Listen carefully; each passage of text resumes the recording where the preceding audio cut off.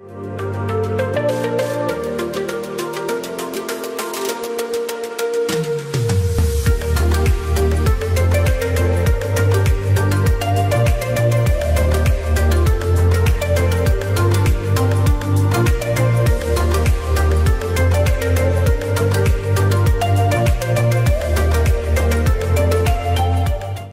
good afternoon and good evening welcome to another episode of Rise and Shine I hope आप जहाँ कहीं से हमें देख रहे हैं, आप खुदावन की प्रोटेक्शन में हैं।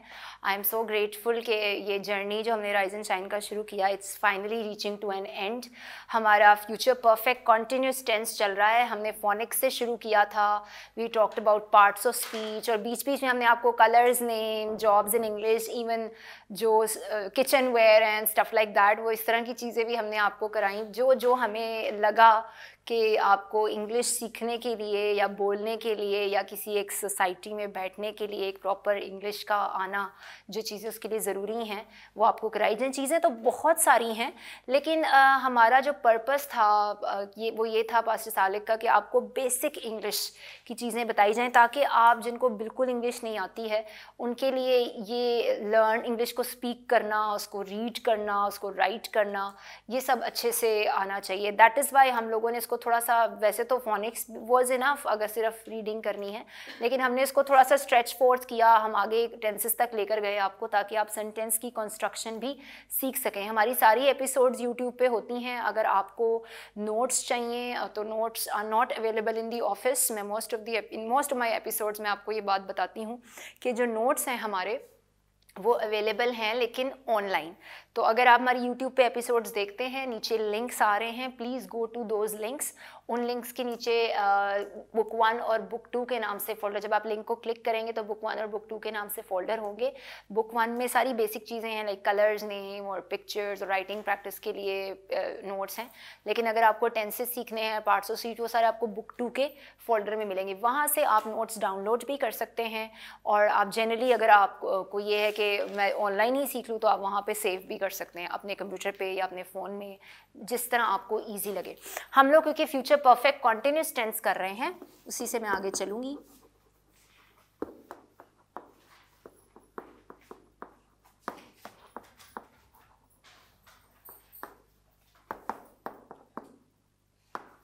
फ्यूचर परफेक्ट कॉन्टिन्यूस टेंस जो है, ये कैसा टेंस है जिसमें हमने कहा, वो कोई ऐसा एक्शन जो फ्यूचर में हो रहा होगा। यानी ऐसा टेंस जो कंटिन्यू है, चल रहा होगा, लेकिन फ्यूचर में।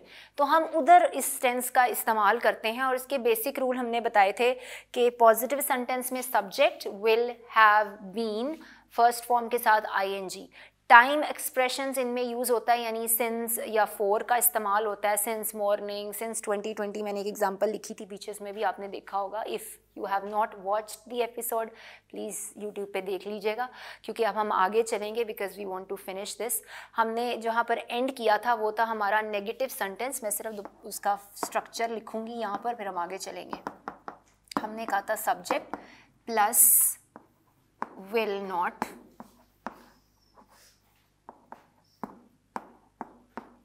plus have been इसको मैं आगे ही लिख देती हूँ। प्लस बीन प्लस वर्ब की first form with ING first form of verb भी लिख सकते हैं प्रेजेंट पार्टिसिपल भी लिख सकते हैं, दोनों ही करेक्ट हैं।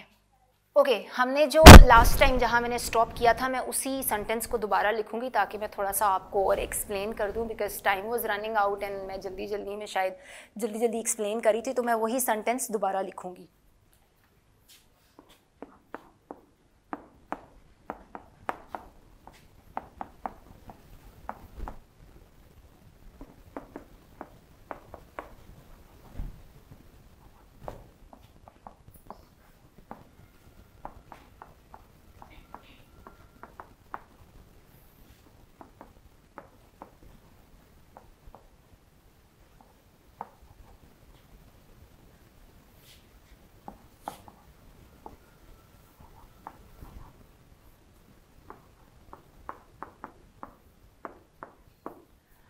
I won't have been traveling.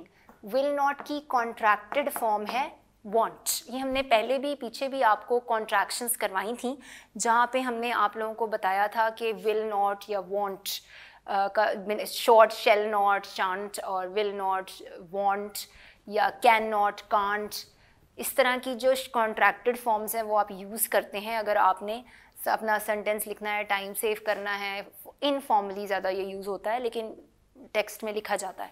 So so, इसलिए मैंने यहाँ पे वॉन्ट लिखा। आप विल नॉट भी लिख देंगे वो भी ठीक है। अगर आप कॉन्ट्रैक्टेड फॉर्म लिखना चाह रहे हैं वो भी ठीक है। लेकिन मैं यहाँ लिखना क्या चाह रही हूँ कि uh, मुझे I won't have been travelling to New York for two years by the end of October यानी अक्टूबर के आखिर तक मुझे दो साल हो जाएँगे कि मैंने न्यूयॉर्क को पर ट्रैवल नहीं किया। यानी मैं न्यूयॉर्क नहीं गया I did not travel travel क्या है? यानी सफ़र करना।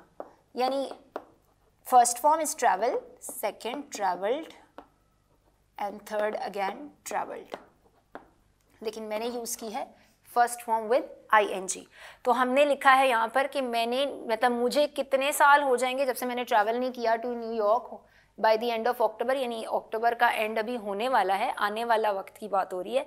तब तक मुझे दो साल हो जाएँगे कि मैंने ट्रैवल नहीं किया, तब से मैं ट्रैवल नहीं कर रहा हूँ, यानी कि तब तक नहीं कर रहा हूँ तो उसका मतलब कहने का ये है कि मुझे न्यूयॉर्क ना ट्रैवल करे, किए हुए दो साल हो जाएँगे by the end of October क्योंकि देखें नॉट इट्स नॉट नेसेसरी कि आप कर रहा होंगे या कर रही होंगी, इस तरह से ये सेंटेंसेस लिखें। जो उर्दू में जब इन फ्यूचर परफेक्ट टेंस को बोला जाता है, जिस तरह देखें अगर मैं कर रहा हूँगा या कर रहा होंगी मैं नहीं बोल रही, मैं बोल रही हूँ कि मुझे न्यूयॉर्क ना जाते हुए, ना ट्रैवल किए हुए दो साल हो जाएँगे by the end of October बात ये फ्यूचर की हो रही है कॉन्टिन्यूस है, लेकिन ज़रूरी नहीं कि मैं रहा हूँगा या रही हूँगी ही यूज़ करूँ। आप उसको फ़र्क तरीके से भी यूज़ करिए, यानी ये करते हुए मुझे अगले महीने या इस मंथ के एंड में इतने साल हो जाएँगे। लेकिन ये बात किसकी हो रही है? फ्यूचर की। और ये एक कॉन्टीन्यूस चीज़ है कि मैं अभी भी ट्रैवल नहीं कर रही हूँ, या अभी भी ट्रैवल नहीं कर रहा हूँ। लेकिन इस मंथ के एंड में मुझे ना ट्रैवल करते हुए न्यूयॉर्क जा मतलब मैं नहीं गया हूँ या नहीं गई हूँ, मैंने तब वहाँ सफ़र नहीं किया। कितनी देर हो गई है मुझे? दो साल। But by the end of October क्योंकि अक्टूबर क्या है, मेरा टाइम एक्सप्रेशन है, यानी अक्टूबर के आने तक। तो ये हमने यहाँ पे स्टॉप किया था, पर एट दैट टाइम मुझे थोड़ा सा I was rushing because of the time इसलिए मैंने कहा इसको दोबारा एक्सप्लेन कर दूँ, क्योंकि इसका बेसिक स्ट्रक्चर क्या है? सब्जेक्ट एस जहाँ भी मैं लिखती हूँ please do get that it is subject और सब्जेक्ट में क्या क्या चीज़ें आती हैं? He she it I we you they ये ही शी इट की जगह कोई चीज़ का नाम भी हो सकता है। अगर मैं लिखती हूँ Sarah won't have been traveling to New York for two years by the end of October. सारा क्या है? लड़की है। मैं इसकी जगह जॉन भी लिख सकती हूँ। John will not have been या won't have been travelling to New York for two years by the end of October यानी ही की जगह मैं जॉन लिख सकती हूँ कि ही क्या है प्रोनाउन है लड़के के लिए। ये भी हम पढ़ चुके हैं nouns and pronouns in previous episodes अगर मैं लिखती हूँ they they won't have been travelling to New York for two years by the end of October यानी वो, उनको दो साल हो जाएँगे अक्टूबर के एंड में ना जब तक उन्होंने सफ़र नहीं किया न्यूयॉर्क तक। यानी they have not been travelling will not, sorry, have been traveling to New York for two years by the end of October. यानी उनको दो साल हो जाएँगे इस अक्टूबर के एंड में जब से उन्होंने ट्रैवल नहीं किया। तो दे लगाएँ ही लगाएँ वी लगाएँ she it whatever you use ये स्ट्रक्चर वही रहेगा। सब्जेक्ट विल नॉट या वॉन्ट विद हैव बीन और आई एन जी अब नॉट क्यों लगाया? क्योंकि ये है नेगेटिव सेंटेंस अब हम चलेंगे क्वेश्चन पे। क्वेश्चन अगर आपने करना है इसी टेंस में, अगर आपने क्वेश्चन की तरह सेंटेंस बनाना है तो फिर वो क्या करेंगे आप? उसके लिए विल पहले चला जाएगा plus subject have been plus first form of verb with I N G और आगे अगर कोई सब्जेक्ट के, कुछ कोई चीज़ ऑब्जेक्ट वगैरह लिख रहे हैं आप। यानी अब यहाँ क्या हुआ है? विल क्योंकि क्वेश्चन है, क्योंकि मैं कोई सवाल कर रही हूँ और फ्यूचर परफेक्ट कॉन्टिन्यूस बिकॉज़ हर सेंटेंस की थ्री फॉर्म्स होती हैं। या तो वो पॉजिटिव सेंटेंस होता है अफर्मेटिव या वो नेगेटिव होता है, जिसमें आप नोट का इस्तेमाल करते हैं, या वो क्वेश्चन होता है। क्वेश्चन का मतलब ये है कि आप कोई सवाल कर रहे हैं। तो हर टेंस में हमने, जब आपको हर पार्ट या टाइप करवाई है, हमने टेंस के, इसमें हमने तीनों स्ट्रक्चर्स देखे हैं and this is the last one for future perfect continuous आपने विल पहले लिखना है, फिर सब्जेक्ट आएगा, और सब्जेक्ट में आपके पास क्या क्या हो सकता है? He, she, it, I, we, you, they, कुछ भी हो इन सब के साथ आपने हैव बीन ही लगाना है और शुरू में क्या लगाना है? विल ही लगाना है। अगर अब मैं इसके लिए क्वेश्चन बनाती हूँ तो क्या लिखूँगी?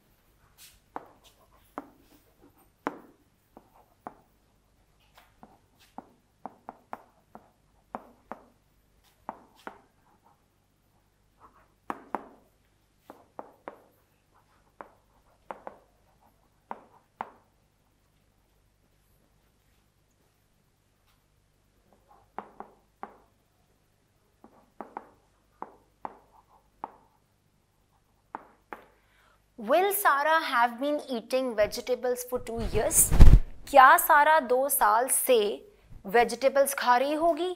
यानी मैं कोई सवाल कर रही हूँ किसी से, मैं अपना एक व्यू दे रही हूँ कि क्या वाकई सारा दो साल से वेजिटेबल्स खा रही होगी?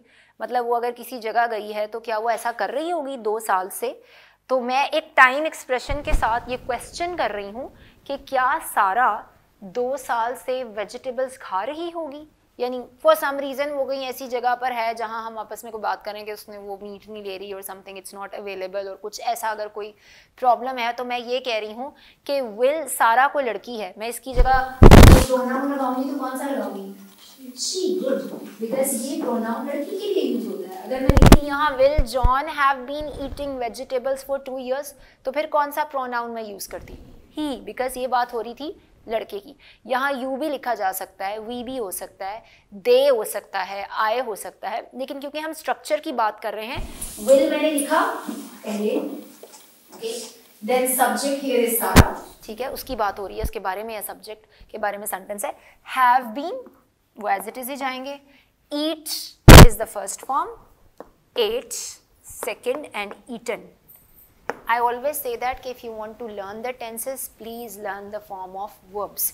मैं यहाँ सारा की जगह किसी लड़के का नाम लिखूँ आई वी यू दे कुछ भी सब्जेक्ट में लिख सकती हूँ लेकिन मेरे पास जो स्ट्रक्चर मैंने दिया हुआ था फ़र्स्ट फॉर्म के साथ आई एन जी इसलिए आपको टेंसेस याद करने के लिए you need to learn the forms of the verb कई बार मैंने आपको टेंसेस की प्रैक्टिस करवाते हुए ये बात कही है कि जब आपको यूज़ करने हैं टेंसेस को याद करना है अप्लाई करना है, उसके लिए आपको इन टेंसेस को याद करना होगा। ओके दिस इज़ इट मैं और ज़्यादा एग्जांपल्स में नहीं जाऊँगी क्योंकि इसके बाद मेरी कोशिश है कि मैं आपको यूज़ बताऊँ कि आप यूज़ कहाँ कर सकते हैं, कौन से ऐसे एक्शंस हैं जिनको आपको डिस्क्राइब करने के लिए इंग्लिश में आपको फ्यूचर परफेक्ट कॉन्टीन्यूस ही लगाना होगा।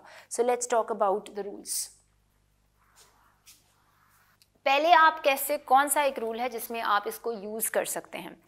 Uh, ये दिखाने के लिए कोई ऐसा एक्शन जो कंटिन्यू होगा किसी फ्यूचर में किसी एक स्पेसिफिक टाइम तक। यानी कि ये कोई ऐसा काम है जो फ्यूचर में होगा लेकिन एक स्पेसिफिक पर्टिकुलर टाइम तक ये होगा उसके बाद आगे फ्यूचर में ही होगा लेकिन तब उस पर्टिकुलर टाइम के बाद नहीं होगा। तो अगर आप ये कहना चाह रहे हैं कि this is an action which will take place it will happen in the future but till a specific time second and the last rule जब आप किसी ऐसे एक्शन की बात करते हैं जो अभी जो कुछ ख़त्म ही हुआ है, इससे पहले कि अगला कोई एक्शन शुरू हो, यानी दो चीज़ें हैं एक जो पहले ख़त्म हुआ है और दूसरे होने, दूसरे के होने से पहले। लेकिन यही हमने पिछले में भी बात की थी फ्यूचर परफेक्ट टेंस में, कि आपका एक रूल जब मैं आपको भी करवा रही थी पिछली एपिसोड्स में, मैंने कहा था कि उसमें एक रूल होता है कि एक एक्शन ख़त्म हुआ है, दूसरा शुरू होने से पहले। यानी दूसरे इवेंट से पहले एक एक्शन ख़त्म हुआ है। यहाँ पर भी ऐसा ही है। फ्यूचर परफेक्ट कॉन्टीन्यूस में भी एक एक्शन ख़त्म होता है, दूसरे के शुरू होने से पहले। लेकिन ये फ्यूचर की बात है। यानी हम बात करें आने वाले दिनों में एक ये चीज़ ख़त्म हो जाएगी और इसके शुरू होने से, दूसरे इवेंट के शुरू होने से पहले। तो इसका मतलब है when you talk about something that finishes just before the other event is suppose to start but we are talking about future here यानी कि जो चीज़ होने वाली है क्योंकि प्लीज़ रिमेंबर हम फ्यूचर टेंस कर रहे हैं। इसमें हर बात हम उस करेंगे आने वाले वक्त की। आने वाला दिन आने वाले महीने आने वाले साल। इसलिए हर जगह कहीं by the end of October मैंने लिखा बाय नेक्स्ट वीक लिखा बाय नेक्स्ट मंथ लिखा क्योंकि ये फ्यूचर की बात हो रही है। ये होगा वो होगा ऐसे करेंगे। ओके अब इसकी आ, मैं एग्ज़ाम्पल लिखती हूँ।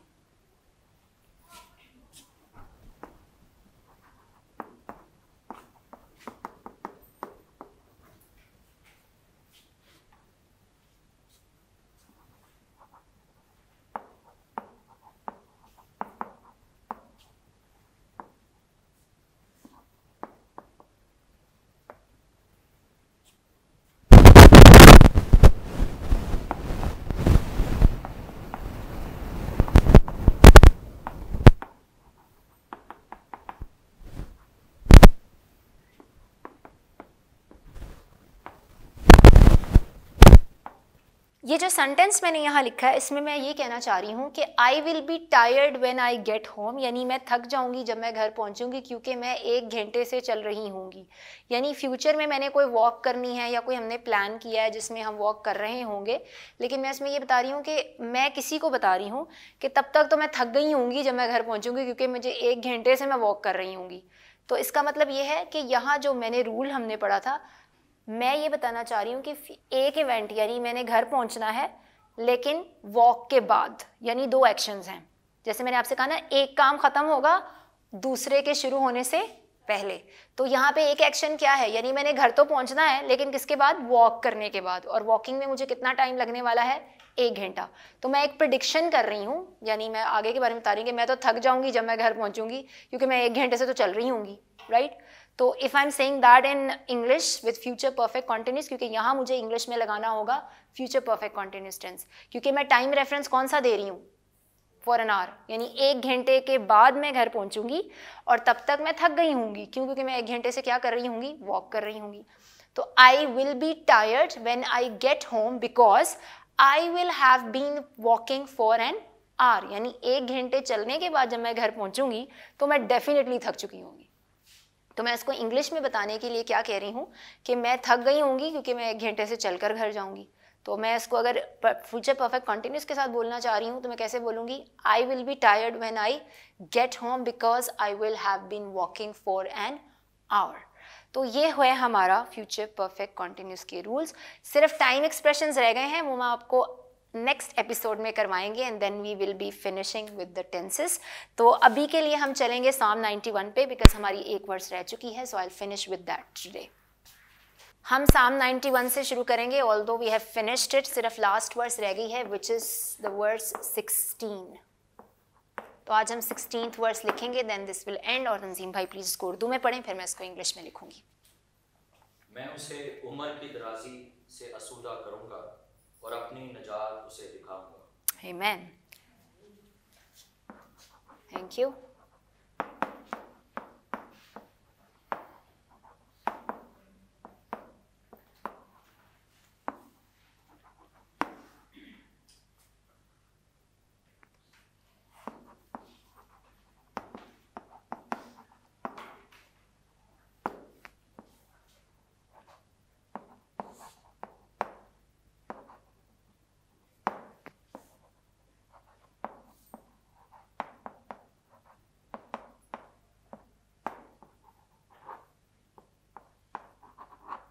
English में it is with long life, I will satisfy him and show him my salvation. Amen.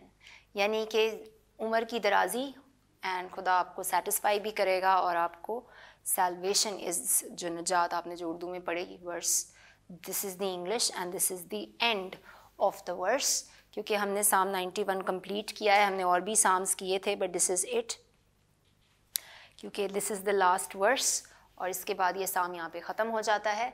I hope इससे आपने सीखा हो क्योंकि that is it we are almost ending it और इसके बाद हम आगे अब इस साम का तो यहीं पे एंड हो जाता है। सो दैट इज़ इट अब मेरे पीछे आपने बोलना है with long life I will satisfy him and show him my salvation यानी खुदा उम्र की दराजी भी देगा और आपको निजात भी दिखाएगा। बिकॉज़ हमें सबको निजात की ज़रूरत है। Amen see you next time hopefully the last episode take care next time in the next episode क्योंकि हम we are almost done with our course थोड़े से बस हमें टाइम एक्सप्रेशन आपको बताने हैं then we will end so take care till then God bless you